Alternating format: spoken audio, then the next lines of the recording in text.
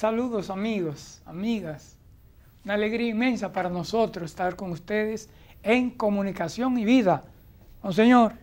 Una vez más, Polo. Sí. Aquí estamos, viéndote a ti con el pecho de aguilucho. Sí. Viene el torneo ahí. Usted no va a la inauguración. ¿Eh? Pero usted, aguilucho, ¿sí o no? No me hable ¿Eh? Ya no me hable ah. que eso es extemporáneo. Bueno, eso está doblado de la esquina pues ya. saludamos, saludamos con mucho cariño a nuestra gente y antes que tú agarres el bate... Hoy, no, hoy, hoy será general lo mío. Bien. Pues, hoy me quedaron. Entonces, quiero aprovechar desde el principio para expresar nuestras condolencias a la familia Checo Peña, que ha estado celebrando el novenario de Simeón Elías Checo Peña, que es el padre de Omar Checo, y Omar Checo es el esposo de doña Bernarda Peña, que es la que preside, bueno, la ejecutiva de la Fundación FASA. FASA, Fundación Arquidiocesana Santiago Apóstol, FASA. Entonces, eh, fue la partida a la casa del padre Simeón Elías Checo, el padre de Omar Checo. Yo no pude ir ni siquiera a ninguna de las Eucaristías, estaba fuera del país, todo eso, pero con nuestra oración, eh, eso sí, lo acompañamos y a la familia también, y que lo sepan por este medio.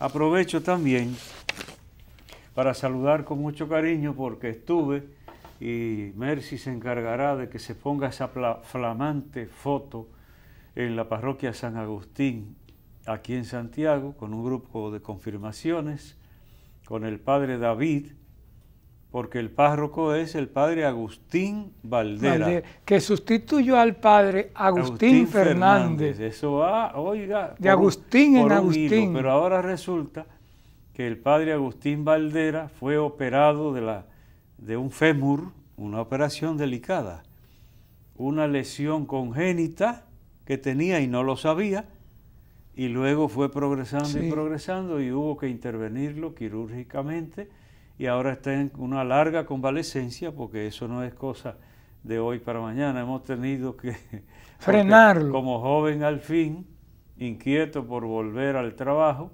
pero está en convalecencia, pues saludamos con mucho cariño ahí. Hablaron de una vez de comunicación y vida, ay, ay, ay, ay, la gente, pues saludamos con mucho cariño a esa gente de la parroquia San Agustín, ahí nos acompañaron además del Padre David, diáconos, ministros, como presidentes de asamblea, como se dice. Pues entonces eh, saludamos con mucho cariño a todas esas personas aunque sin mencionar nombre de ninguno. Y se me había pasado mencionar que en la misa de Monseñor Rivas, en Jarabacoa, entre la mucha gente que yo encontré ahí, eh, me acerqué al padre Ángel Soto y ahí llegó por casualidad un hijo de Belarminio Ramírez. Ah, yo recuerdo que hablamos de él. Entonces me dijo, yo soy hijo de Belarminio Ramírez y oí lo que ustedes dijeron en comunicación y vida, pues saludamos con mucho cariño a esa familia. Gracias a Dios que todo lo que dijimos fue bueno. Bueno. De Belarminio Ramírez, ese gran amigo mío que yo dije que disfrutaba con las ocurrencias mías, es que se, se moría de risa porque no esperaba que uno iba a salir con las cosas que a uno se le ocurren. Pues dentro del pesar por la muerte de Monseñor Rivas, pues sirvió para el encuentro con él. Con muchas personas, porque ahí también me dijeron, Polo, que hay sacerdotes, me lo dijo uno, que ven el programa con una libreta en la mano. Qué bien Dije para ir a anotar. Entonces, eso me lo dijeron allá también, pero son tantas cosas. Eh, y ahora eh, aprovecho para mandar unos saludos, porque los mandaron conmigo, pero a mí se me va a olvidar. Son saludos internacionales, porque es Monseñor Ubaldo Santana de Venezuela, que me encargó, pero ya tú sabes, saludar a Monseñor José Grullón, así como Monseñor Nicanor Peña, porque fueron compañeros de estudio en de Roma. Él, en Roma. Monseñor Ubaldo Santana, de Venezuela, entonces me preguntó por esos, son muy buenos amigos, entonces que si estos dos obispos, Nicanor yo sé que nos ve de vez en cuando, eh, Monseñor Grullón, eh, eh, dígame usted. Pero que alguien que le diga que Monseñor Ubaldo de Venezuela manda saludos a Monseñor José Grullón y a Monseñor Nicanor. Bien, y finalmente, que ha estado muy delicado de salud, Monseñor Pablo Sedano de Higüey, que fue obispo auxiliar de Santo Domingo, muy amigo mío, porque además coincidimos en el mismo trabajo como formadores en el seminario Santo, Tomás. de Aquino. Entonces está muy delicadito de salud. Me enteré fuera del país y, y al llegar al país, pues enseguida me comuniqué con un señor Nicanor. Entonces está bien atendido porque un hermano de él es médico, Virgilio, Virgilio Sedano, un médico muy reconocido en Higüey, y han buscado los mejores especialistas, pero está que me dijo Monseñor Nicanor que incluso no puede valerse, tienen, si se levanta es porque lo ayudan, entonces eh, oramos por Monseñor Pablo Sedano, muy buen servidor de la iglesia, muy buena persona, Pablo Sedano y Sedano. ¿Qué te parece? Sí. Sedano dos veces. Y mire, dije que eh, los saludos serían de forma general. En, la próxima emisión lo haré. Pero el señor Jesús María, este, Jesús María García, don Negro, en La Vega, un señor ya que tiene su familia creada, como decimos, todos profesionales, trabajó inmensamente para levantar la familia y que nos ve, es un fanático, me decía Isabel Guillermo, esa teresiana, fiel seguidora de Comunicación y Vida y del periódico Camino. Así que a Don Negro, allá en La Vega, nuestro abrazo. Y decirle, Monseñor, también que tengo las condolencias para mi comadre Estela y toda la familia, porque su único hijo falleció en un accidente de motor, mi ahijado. Chocó con otro motor y los dos perdieron la vida. Él tenía 21, 22 años. Entonces, de noche... Pero, Polo, ¿cuántas noticias salen en la prensa de cosas parecidísimas sí, sí. a esas? Ay, Dios. Y yo decía, Monseñor... tengo en la mente dos que iban en un motor y chocaron con el motor de unos policías y se mataron. Sí. Y en el caso de Elvis, mi, mi ahijado, venía, el otro motor no, no, no tenía luz cayó en un hoyo, ahí perdieron el equilibrio, aunque iban en vía contraria, chocaron, murieron los dos. Eso hace menos de nueve días. Y así en Moca, usted recuerda los cinco que murieron cuando venían de las lagunas de Moca. Eh, y es una tragedia. sí, sí. Digo, eh, no vamos a tratar nuevamente ese tema, pero qué pena. Pero yo a veces digo, poco pasa en este país. Cuando yo veo por ahí, que eso es lo que suelo decir para no conducir ya, porque yo conduje vehículos toda la vida. En Baní yo fui, como decíamos señor Osoria, yo me manejo a mí mismo. Entonces yo conduje en Baní cuatro años, los primeros cuatro años de obispo, para arriba y para abajo, para la loma, para donde quiera. Pero después ya comencé a, a utilizar servicio de chofer, porque queda uno más libre para ir rezando el rosario, reflexionando. Eh, pero un motivo especial es mi bajo nivel de tolerancia. Yo no doy para andar en el medio entre tantos locos ya. Sí, es difícil. Porque entonces, y no puedo usar pistola tampoco. no puedo usar, yo digo, yo no puedo andar con una escopeta. Eh, eh. Porque la paciencia mía es muy limitada. Y para andar en el medio ahora, yo en ese Santiago bendito. Y en Santo Domingo. Ay Dios mío, se paran de medio fundillo cuadrado, de, como quieras. Eso, eh, este es un país especial, verdaderamente. El que maneja aquí, maneja en cualquier parte. Yo quisiera ver un alemán manejando en Santiago Sí. o en la capital en horas pico. Sí. Yo creo que hay Y un que, motorista que hay se le mete por Hay aquí. que reabrir el 28 volando. Sí, es fuerte. Eh, porque ellos tienen previsto hasta el semáforo si va a estar verde o está rojo y si va un vehículo adelante eh, tiene que esperar y estar pendiente, todo está Todo. planificado. Pero bien, Polo, ya metiste ese tema, Sí, pero sí. es lamentable tanto dolor para muchas personas, porque tú te imaginas un joven estudiando o a veces acabando de graduarse, el sacrificio de la, de la familia y la esperanza puesta en un hijo, Yo en tengo, una hija. yo tengo la imagen de la comadre Estela allá en la parroquia de Jesucristo Redentor, donde mi hermano Tino celebró. Ella destrozada totalmente. Me toca a mí tocar el timbre. Así que Te estoy esperando para la palabra. Sí, así que esa es la situación. Ojalá que todos aportemos para que aprendamos a defender la vida y amarla. Hay, que volver otro día. Tenemos que insistir. Educación vial, educación ciudadana, educación cívica, se decía antes, que suena feísimo, pero hay que trabajar. Pero ahora, pa- La palabra.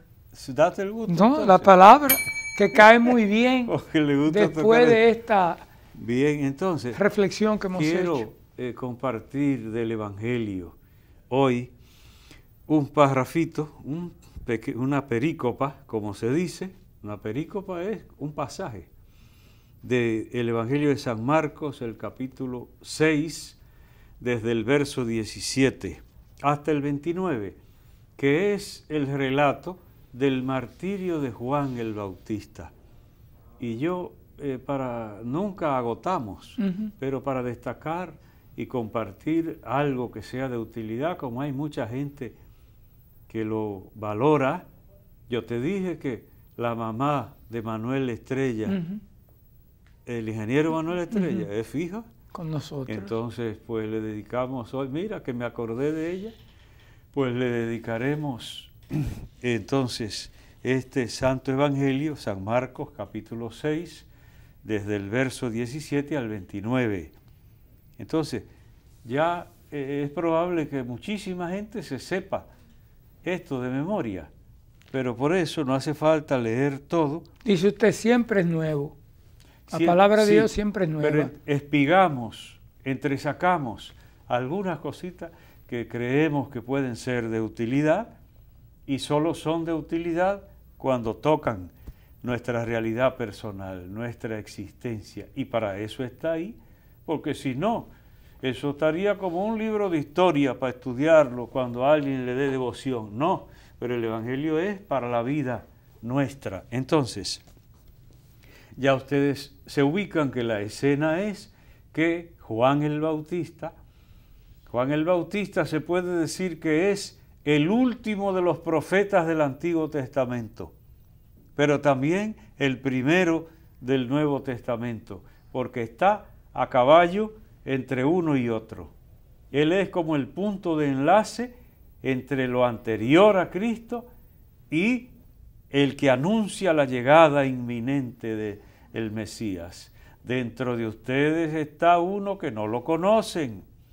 Y ese sí es grande de verdad, porque yo no soy la luz, anuncio al que es la luz, y no soy digno de agacharme a amarrarle la correa de las sandalias. Oiga, las imágenes. Entonces, ¿pero qué resulta? Que por ser fiel a Dios cayó en desgracia. Eso sucede. Hay gente que cae en desgracia por su mala cabeza, aunque después se lo achaque a causas nobles o a lo que quiera. Hay gente que se equivoca y fracasa por su propia voluntad. Pero hay gente que fracasa por estar del lado de la verdad, cumpliendo. Mira tú ahora la iglesia en Nicaragua. Ahí tienes tú un caso reciente, el pobre cardenal Leopoldo Brenes. Brenes, amiguito nuestro, distinguidísimo por unos pelitos al aire que nunca se sí. lo ha cortado. Sí. Y entonces las que han pasado por tratar de mediar y de aplacar la ira de los, los hombres armados y la población para que no haya más derramamiento de sangre. Y los han llamado golpistas y terroristas y de todo. Pues entonces, ¿por qué cayó en desgracia Juan el Bautista? Ah, porque hay gente que quiere que lo dejen vivir de cualquier manera. Y nosotros no podemos ser indiferentes. Ahí está el punto. La iglesia tiene un mandato de Cristo y porque ahí andan diciendo en los medios y en la prensa a esos curas que se vayan para su sacristía, que no tienen que hablar de aborto ni de nada. Ah, muy bien, ¿cómo no? Pues entonces, y si dicen vamos a matar a los viejos, que no, que se queden callados. Y si dicen vamos a matar a los comunicadores, también querrán que la iglesia se quede callada. ¿Qué te parece? No, jamás. ¿Eh? Hasta las piedras hablarían. No, hombre, si dijeran, suponte tú un dictador, vamos a matar a los comunicadores, date por implicado. Sí, sí. Entonces, ¿le gustaría a los comunicadores que la iglesia se quedara callada? Ahí sí no, ¿verdad? Se busca solidaridad. Ahí sí no. Ahí sí no, lo mismito, lo mismito, un altísimo funcionario que yo por, he dicho aquí, por complacer gente que le cae encima a uno, porque la gente no se imagina lo que tiene que pasar un obispo, con cartas de trabajo y de recomendación, embromando la paciencia, que ahí paga uno purgatorio en cantidad. Yo he dicho aquí, tanto me embromaron que hago una carta para un alto funcionario, no puedo declarar más. Y me mandaron ese rapapolvo de allá para acá que ellos tenían sus procedimientos y que eran respetuosos, que yo no tenía que meterme en eso. Ni sé yo que se me hizo la cartica, que a la hora de escribir la memoria te la busqué. Pero fue mejor quizá. ¿Cuándo? Al poquito tiempo. Me entero yo, porque lamentándome con un cura de la que me había pasado y dice, no se preocupe que ahora anda ese funcionario buscando entre los curas apoyo porque lo quieren remover mm. de su puesto. Y a ese mismo sacerdote le había solicitado que se manifestara.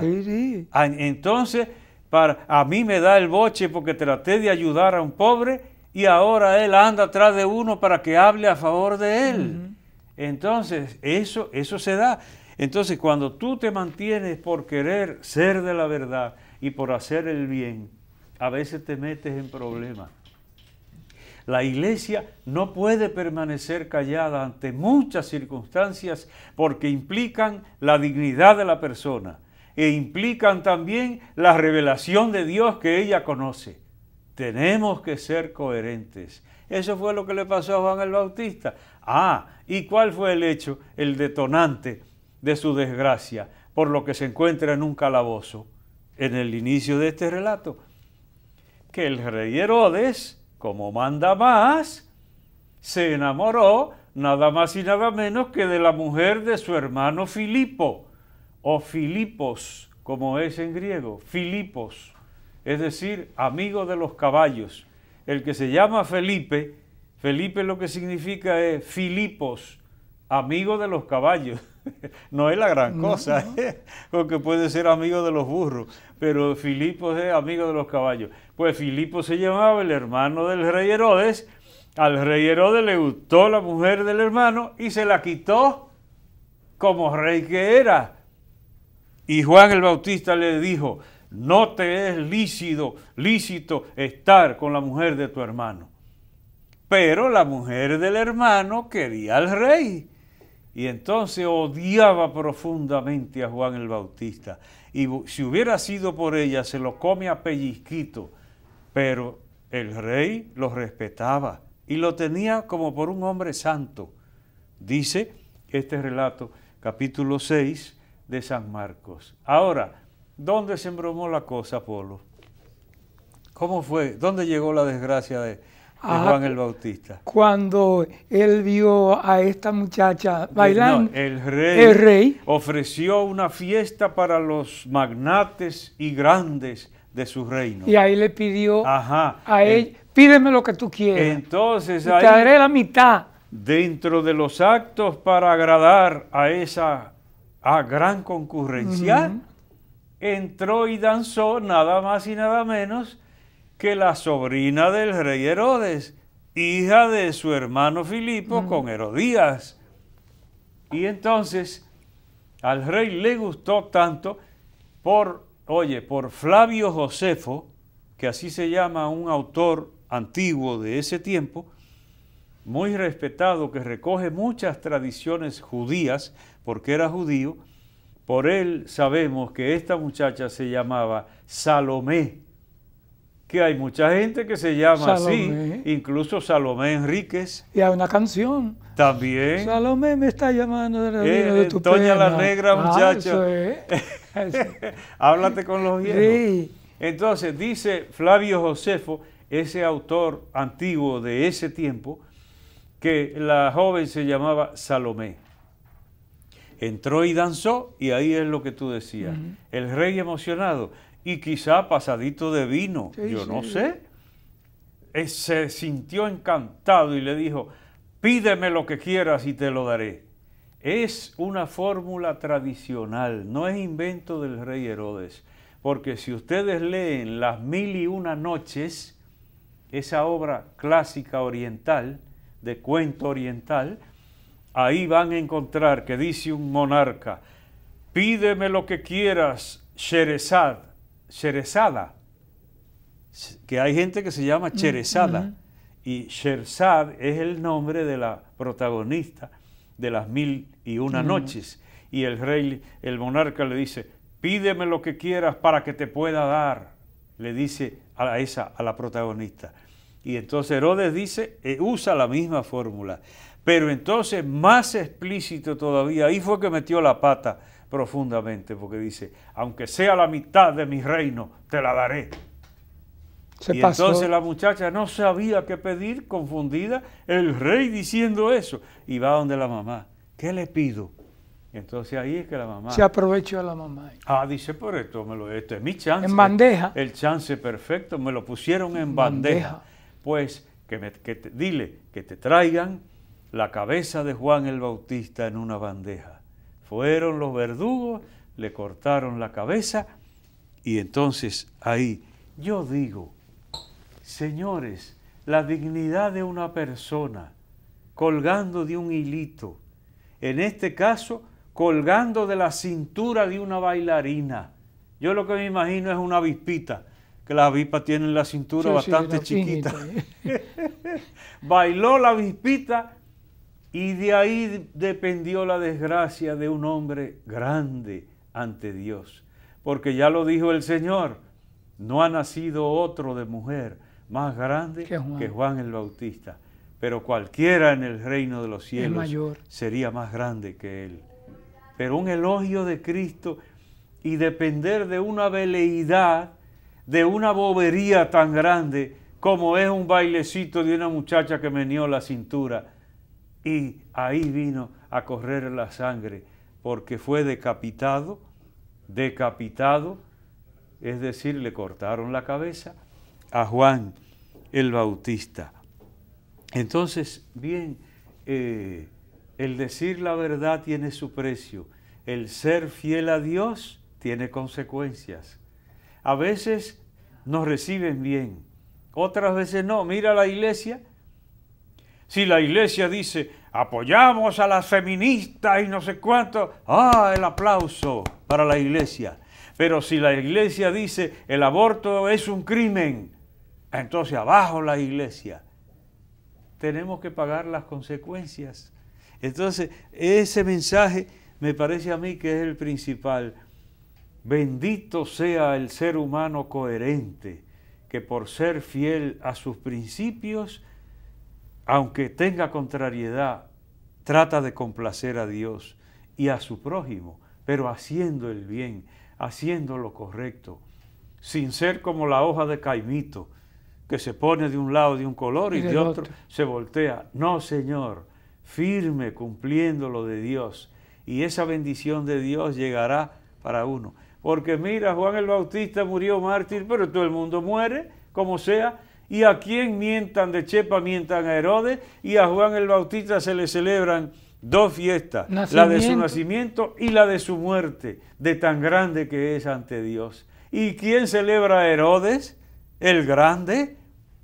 Entonces, por ser fiel a Dios, tiene la recompensa del reino de los cielos, pero también el recuerdo eterno de los creyentes y de las personas honestas que por motivo de coherencia llegan hasta padecer y tenemos que estar preparados para ello. Siempre fiel. Esto es comunicación y vida. Una pausa y en breve continuamos. Siga con nosotros.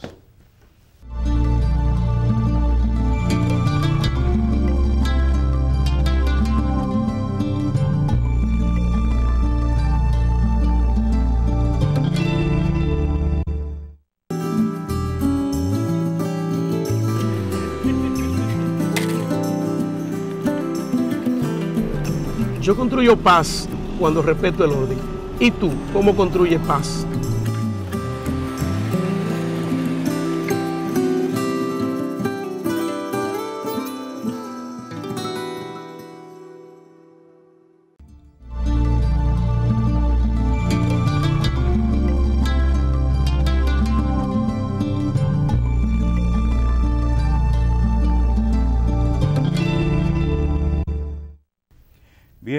Amigos, terminamos el comentario de la palabra. ¿Qué ve? Ustedes ven, breve, podríamos haber seguido mucho más, mucho más, porque siempre la palabra de Dios es inagotable, pero hacemos una aplicación, la que se nos ocurre, que puede ser más importante o según Dios mueve nuestro corazón para compartir con ustedes. ¿Sabe, antes de que usted diga, que San Juan es uno de los personajes que yo más admiro en mi vida. Ah, sí. Sí.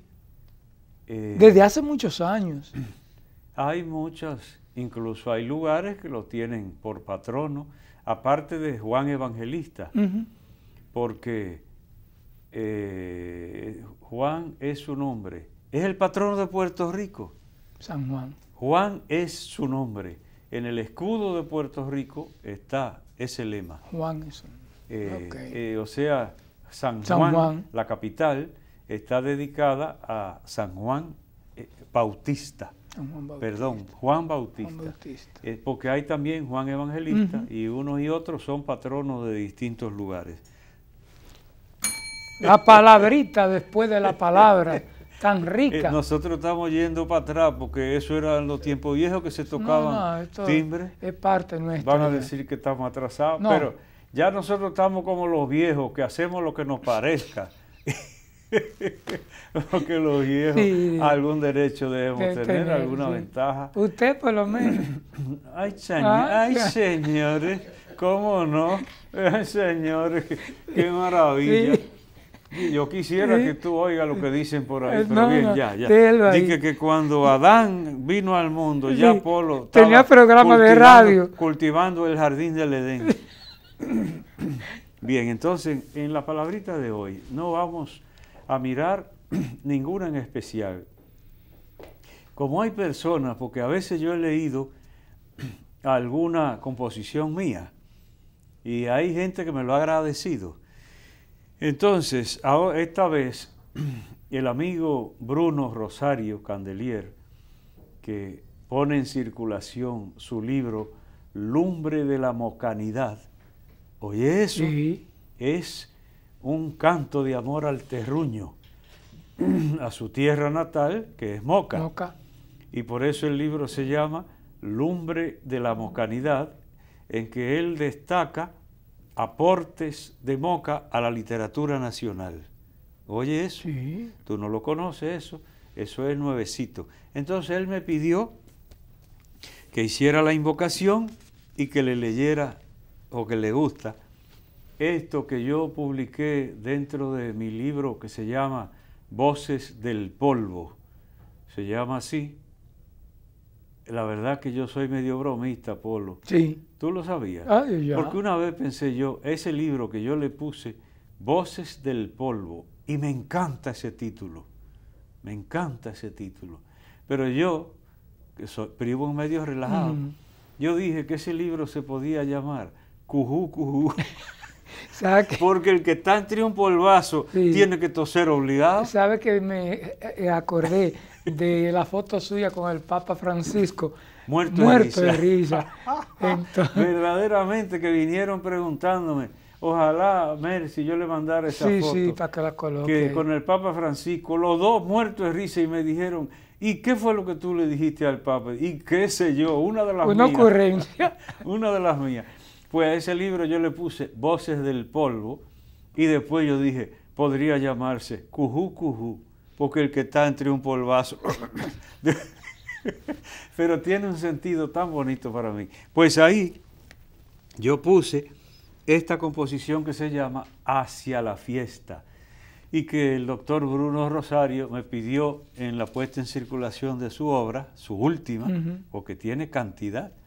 Entonces, que, y esta dice así, Padre de la armonía, yo sé bien que tu voz divaga por el mundo, te canta suavemente la brisa en los pinares o en los vientos que rozan las rocas de la altura.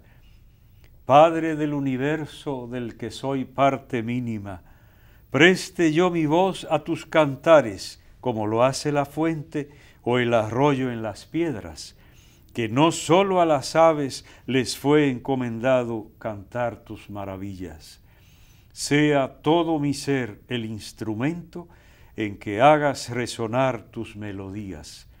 Viva yo de tu amor, tu armonía perfecta, mientras voy peregrino hacia tu fiesta. ¿Dónde lo escribió? ¿Dónde? Sí. No, Polo, eso sí no. Eso sí no, no te lo podría decir. No me acuerdo. Porque, es que yo tengo muchas cosas, Polo, y alguna puede ser. eh, hay cosas que yo la escribí a lomo de mulo, caminando para una loma, en el camino, iba, tran, tran, tran, tran, y luego al llevar, llegar al vehículo en el guía de la camioneta, eso, algunas cosas así yo las recuerdo pero de cada uno es muy difícil, porque además está ya distante en el tiempo. Esas cosas las escribiría yo antes de, los 80. Porque yo me trasladé mientras usted iba Hay leyendo. cosas que las escribí en San José de las Matas, Ah, yo pensé, Y- en los Pinares. los Pinares. pero es que también las, las experiencias marcan a uno. Porque oye, que yo digo aquí, te canta suavemente la brisa en los pinares o en los vientos que rozan las rocas de la altura. altura. Pero es que las experiencias marcan. Yo te he dicho que me perdí por Barahona, por la laguna de Cabral, como dicen, que es el lago, el rincón, pero le dicen de Cabral. Entonces, como andábamos perdidos, yo subí a una lomita muy rocosa para ver si desde allá divisaba caseríos. Y lo que vi fue agua, agua, agua. Entonces, había hierba ahí. Y luego desde arriba yo no podía encontrar por dónde fue que subí, porque la hierba tapaba. Tapaba, sí. Entonces, y la brisa fuerte allá arriba. Todas es- esas experiencias marcan y salen.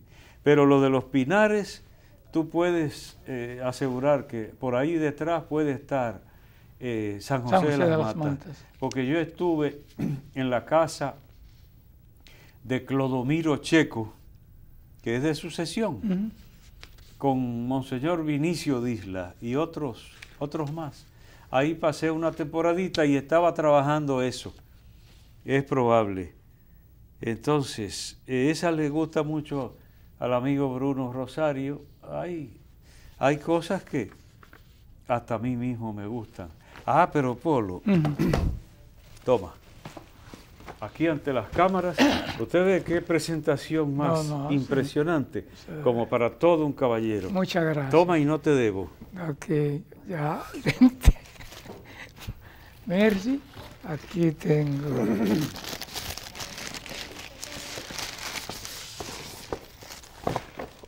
Ofrézcome Obra selecta Freddy Bretón Martínez. Vamos, vamos, lee la dedicatoria. Lee la dedicatoria. Al amigo Virgilio Apolinar Ramos Aria, con sentimientos de profunda gratitud y gran afecto. 29 de agosto del año 2018. Freddy Bertón. Muchísimas el folletico No, no, muchísimas gracias. Y le prometo leerla como leí sus memorias. Con esa ahí se te mellan los ojos. Sí, sí, sí. Es muy grande. Muchísimas gracias eh, por el detalle.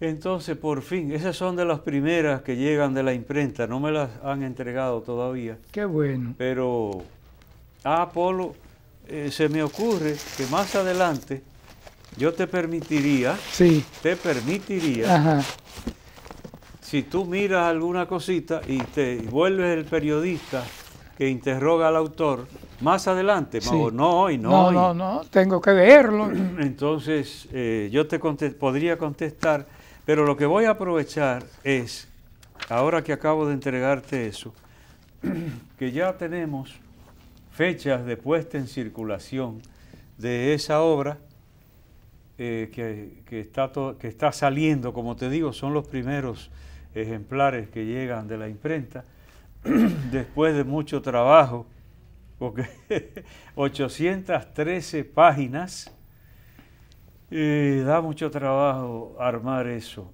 y corregir y volver a corregir, pero gracias a Dios han hecho un trabajo tremendo, la madre maestra, la amiga Carmen Felicitas Pérez Valerio, que es la encargada de publicaciones. Ella se encargó personalmente con el amigo David, que es el que ha diagramado todo. Entonces, gracias a Dios, la gente, los pocos que han visto se lo han encontrado, se lo han encontrado precioso está precioso. Entonces, eh, agradezco muchísimo al, amigo Diomedes Núñez Polanco, director de la Biblioteca Nacional Pedro Enrique Sureña, porque nos encontramos, como tú recordarás, Polo, en Santa Ana de Nivaje, con ocasión de los nueve días del papá del ministro Ventura Camejo. Entonces, por casualidad, me preguntó que, en qué iban, eh, lo, que, cómo iba la escritura. Y le dije, precisamente, estábamos preparando la publicación. Entonces de una vez me dio una tarjeta para ponerlo en circulación en la Biblioteca Nacional. Digo, yo nunca he pisado ahí, pues me queda bien. Entonces ya tenemos la fecha del martes 11 de septiembre a las 6 en punto de la tarde en la Biblioteca Nacional, que eso está en la Plaza de la Cultura, allá en Santo Domingo. El martes 11 de septiembre para conmemorar será el atentado. ¿O Allende en Chile? También. ¿Y hechos históricos? También. Sí. No, no sabía. Entonces, puesta en circulación de esta obra selecta de mi autoría en la Biblioteca Nacional para que si alguna persona de Santo Domingo, amiga de uno, cabe todo el que vaya. Y si tenemos que cambiar de sala, pues se cambia. Porque vamos a estar en la sala Aida Cartagena Portalatín, porque de Mocano se trata.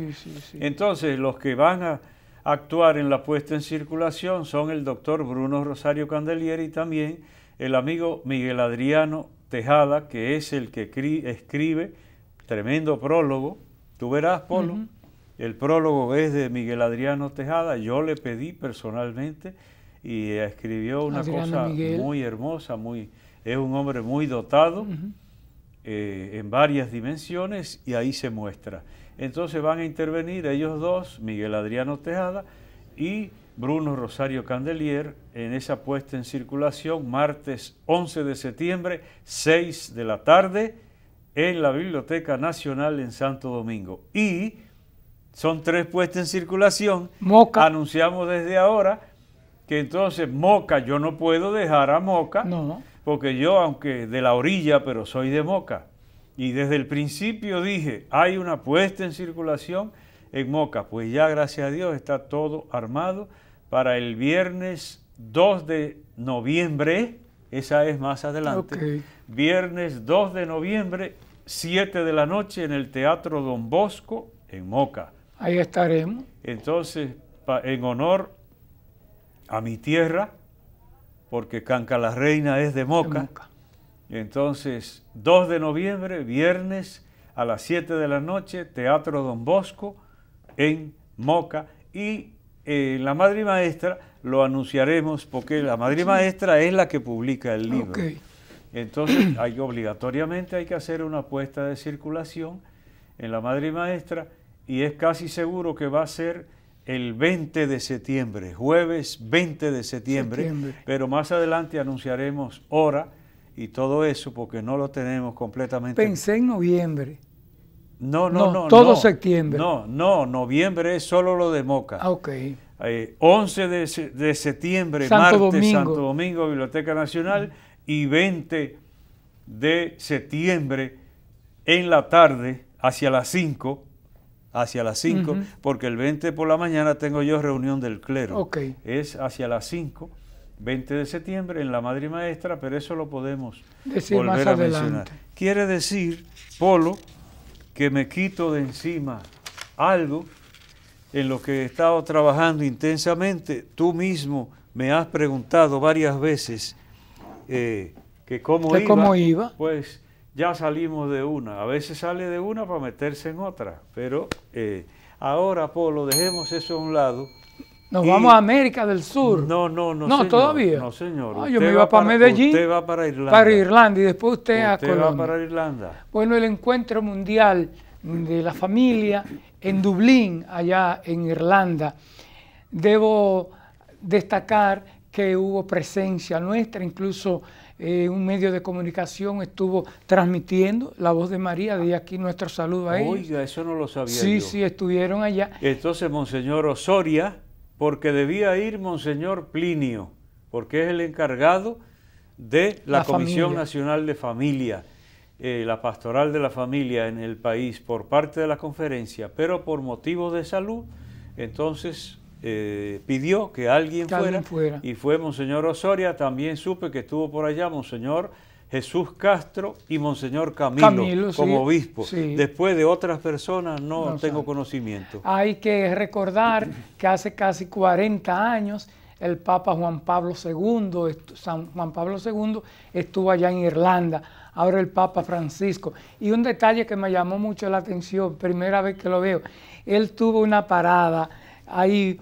una persona en Irlanda, que ya es beato, que le gustaba la bebida, el santo bebedor, así tituló una de las agencias católicas. El santo bebedor porque cayó en el alcoholismo y luego conoció a Cristo y se convirtió. Y lo conocen popularmente en Irlanda como el santo bebedor. Y un dato que, que él decía, es más fácil salir del infierno que salir cuando una persona ya cae en el alcoholismo. Decía este, este que un día será canonizado. Entonces el Papa tuvo la delicadeza Eh, de detenerse ahí. Como yo estaba comprometido en otras cosas, no me fue posible seguir fielmente, pero sí han destacado unas cosas. Por ejemplo, que en la Santa Misa, en el momento del acto penitencial, el Papa pidió perdón, Perdón. por las víctimas de los abusos. Se reunió con algunos de del ellos. también. clero en Irlanda. Eh, yo pensando, cualquiera en el pellejo del Papa Francisco, Sufre. ay Dios mío, y llegar, llegar tú a un lugar y que te enrostren de una vez toda esa porquería, porque no es otra cosa, toda esa calamidad, y el Papa Francisco teniendo, dejando que le caiga encima todo eso. Eh, ay, por eso yo siempre pido muchas oraciones por él, que él las pide. Mm, La pide también. Pero yo digo, si cualquiera de nosotros a veces va medio forzado, ¿cuánto más el que lleva sobre sus hombros una carga tan tremenda como la del Papa Francisco?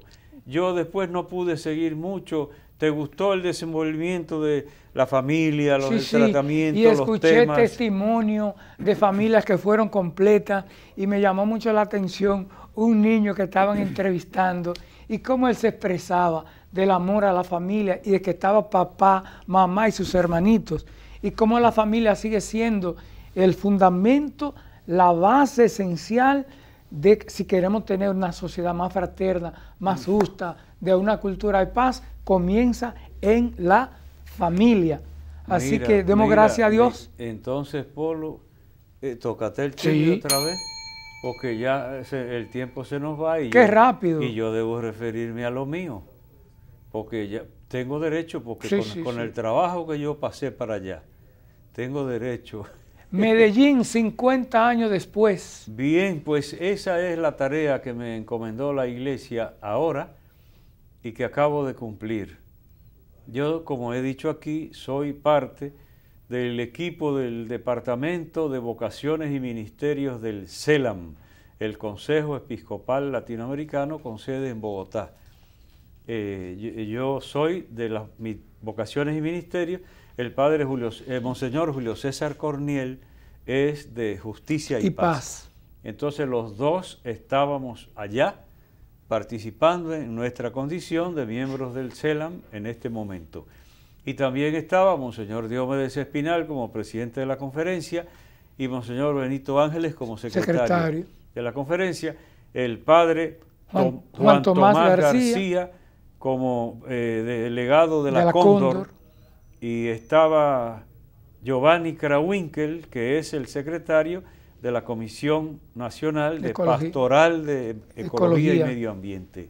Entonces había varios dominicanos y dominicanas religiosas, y por allá estaban el padre Gregorio de Santo Domingo, el padre Arsenio de la Vega, porque estudian en Bogotá. Entonces estaban allá. Pues bien, eh, abreviaré, yo pensaba extenderme muchísimo, porque además tengo fotos preciosas para cada cosa. Tengo hasta gallinazos que los retraté yo mismo en el seminario donde nos alojamos. Se asentaron dos y uno lo atrapé hasta volando. Gallinazos son buitres, que aquí no hay. No. Bueno, aquí lo que hay son mauras. Mauras, en Macorís hay muchas. Pero los buitres son grandes. En Colombia se llaman gallinazos. En otros lugares se llaman sopilotes. Principalmente en México porque es una palabra náhuatl, eh, sopilote. Entonces ahí hasta eso. Y después flores. Medellín, ay Dios mío. Están los silleteros, que son los que cargan una especie de silletas o sillas que se paran incluso en el piso, pero también se cargan. Para la Feria de las Flores. A mí me tocó hace 38 años ver una de esas ferias de las flores en Medellín, porque estábamos Benito Ángeles y yo haciendo el primer curso para formadores de, clero en ese mismo seminario donde se celebró ahora el Congreso Eclesial con motivo de los 50 años Comunicación, de Medellín. profecía y participación. Entonces, ahí tienen fotos que si Mercy se, Se esmera. ahí tengo fotos de flores sacadas por mí, arreglos florales impresionantes, y dentro de ellas las silletas esas, que son como cuadraditas, como una silla, pero se ponen a la espalda. pa- Entonces, por Se detrás de va todas las flores. Allá todo es flores, arreglo- todos los arreglos, dígame usted, se llama en la ciudad de la eterna primavera, Medellín. Se Allá fue a visitarnos el alcalde y nos dijo unas palabras muy, muy bonitas. Parece a Jarabacoa. Jarabacoa no, le mucho más. Sí, mucho pero más, que le dicen a Jarabacoa. Mucho más, no, no, no, mucho más porque allá, al ser más alto, el clima se mantiene todo el año. De noche teníamos 11 grados. Yo pasé las de Caín, si no es por un abrigote que... Bien, pues no hay tiempo ya de los detalles. Pagué purgatorio en cantidad, ¿Por qué? porque aeropuerto, conexiones de vuelo, me hicieron uno- unas conexiones imposibles, yo con la lengua arrastro o, o, dese- o cansado de esperar, cuatro horas en un aeropuerto esperando de noche, llegué pasada la medianoche y para regresar a la una de la madrugada estaba yo vestido en pie, esperando un taxi que no llegó, Sí. en un monte. Ay, Dios mío. Y entonces si se pierde una conexión, ya tú sabes, Sí, sí. una vez yo Complica. pasé una semana en Bogotá esperando vuelo, porque la próxima semana era que había vuelo, solo con la ropa de encima, porque la maleta ya estaba en el avión. Sí. ¿Sabe por qué le tengo miedo ahora a esas cosas? Sí, sí. Pues pagué alguna. Ahora, para terminar, tengo que decir, la experiencia valió la pena. El encuentro fraterno, la oración en común, los contenidos que se comparten, la lucha por la justicia, la promoción social, el valor de la juventud, la familia, que son los temas maravillosos de Medellín. Nosotros estamos marcados por Medellín. Allá no se podía hablar en público. Era con papelitos y me hubieran dejado abrir esta boca a mí. Mm. Porque allá hablaron hasta disparate, gente que nos conoció ese tiempo. Y que, que Medellín se cayó, nadie le hizo caso, no sé cuánto. Y en un grupito digo yo, pero ¿y qué bobería que están hablando eso? Pero por Medellín fue que a mí me expulsaron del seminario. Yo entré al seminario mayor en el 68, el, el mismo año de Medellín. Y nosotros hicimos un disparate. Los seminaristas por nuestra cuenta suspendimos las clases, hicimos huelga para dividirnos por grupo a estudiar en los documentos de Medellín, por tema. Tú estudias juventud, tu familia, tu justicia, promoción social. Nosotros. Entonces, ahí me gané yo hasta la expulsión del seminario y ahora están hablando que Medellín no hizo, efecto. Bien, pues digo, el encuentro fue maravilloso. Entonces, hay voces que desentonan siempre pero yo creo que en otro programa yo debería abordar y ampliar un poco los contenidos. Por ahora agradezco a Dios que volví vivo, pagué purgatorio, pero vale la pena el encuentro eclesial. Qué bueno. Y por último, 10 segundos, Mercy, hay que destacar que hace 50 años el Papa Paulo VI era el primer Papa que pisaba el continente. Fue que inauguró la Conferencia General del Episcopado Latinoamericano, segunda conferencia. La primera fue en Río, de, Janeiro, allá en Brasil. Esto es comunicación y vida, una breve pausa y venimos con nuestra oración final.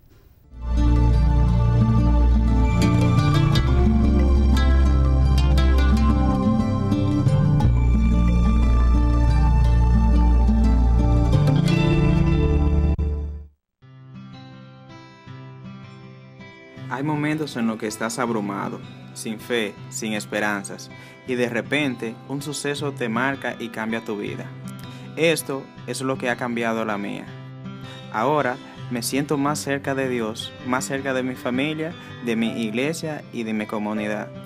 Ahora soy un joven más comprometido y más responsable con la verdad y el camino. Periódico Camino, al servicio de la verdad y la vida.